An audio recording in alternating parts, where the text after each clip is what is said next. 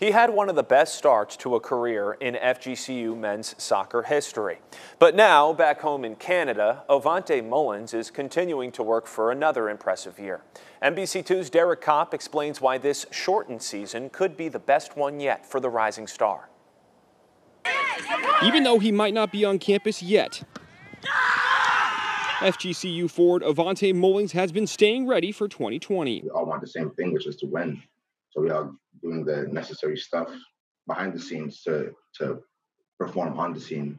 So far, all Avante has done is perform. In the short time the Toronto native has been an Eagle, he's had a knack for finding the back of the net. Scoring goals for me is always on my mind. It's always on my mind, no matter how much games, either the game thing, game tomorrow. Scoring goals is always on my hand. And it shows. His 38 points and 16 goals are both top five in program history. Yes! And he's the only one in the top 10 with only two years under his belt. Like before, I, I didn't have no clue. I had no clue, and I got the tag. I just like, okay. Like my second year, I didn't even know. It's like I want to get further. Like, it's only the beginning. Here we go.